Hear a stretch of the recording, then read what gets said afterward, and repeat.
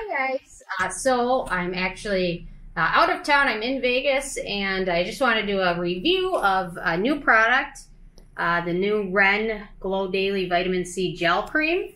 I actually got it in one of my subscription boxes a few weeks ago, and I saw that it's now at some of the bigger stores, so I thought I would do a review on it, uh, just so you guys know whether or not you should purchase this, if it's worth picking up or not. So um, I'll start out with the packaging. So this is obviously the sample size, but the full size bottle is, um, let's see, 1.7 ounces. And it's in a nice package with a pump, so um, the packaging is really nice. Uh, the full size sells for $48, so it's a little bit pricey, but vitamin C products tend to be a little bit more in the pricey range. Uh, so nothing wrong with that. Uh, it does contain good fatty alcohols, However, when it comes to fragrance, let me uh, read you how many different fragrance ingredients it contains, because that's usually one of my bigger things that I'm concerned with.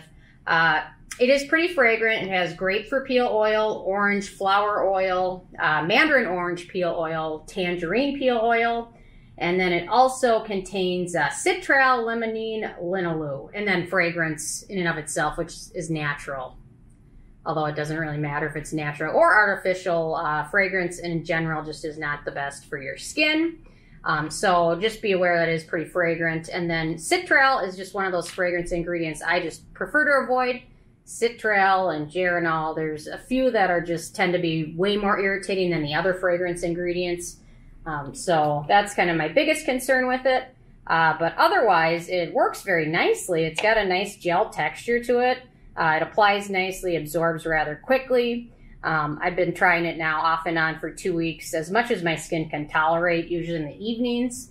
Um, but uh, it layers well with other products. It's very easy to use. It absorbs very quickly. I can see how uh, I tend to use this in the evening, but uh, if you use this in the daytime under your foundation, I've tried that and it works quite easily. Uh, for the most part, however, it does tend to be on the more drying end of a gel cream.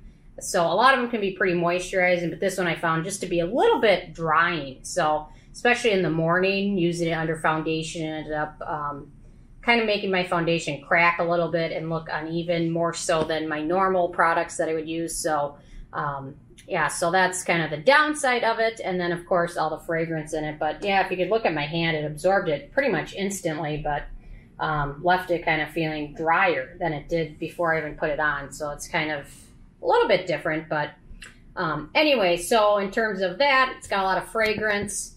Um, very easy to use though. Uh, the Ren brand is cruelty free, which I really like, is a good thing. And then in terms of performance, like I said, uh, just left my skin feeling drier than it did before I applied it. So if you have oily skin, you'll probably like that that uh, kind of mattifying effect a little bit more than most people with normal to dry skin. Uh, but I don't know. Otherwise, this kind of just leaves me wanting a little bit more, especially for almost 50 bucks.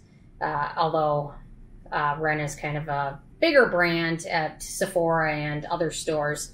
So I don't know. I thought I would review this quick just in case you guys are thinking of picking it up. And then uh, in terms of using it, uh, you know, I just found it to be really drying on my neck area, especially. And my neck got pretty sensitized from some of the ingredients in there. It's got a lot of fragrance. So, but it does contain vitamin C, which is a very good beneficial ingredient.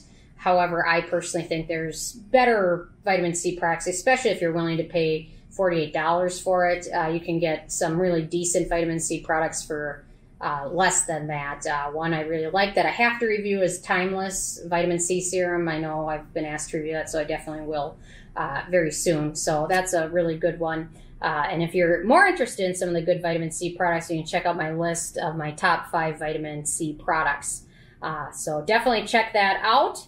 Uh, otherwise, I I personally think this one is average, although I'm sure some people will really like it.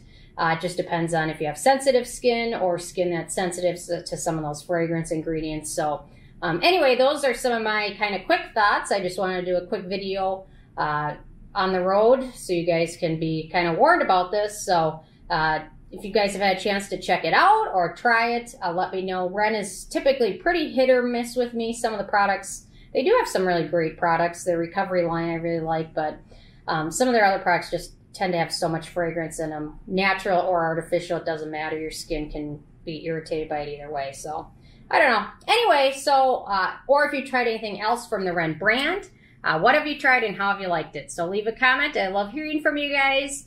Uh, and check out the Amazon link below, nobsbeauty.com. Thank you guys so much.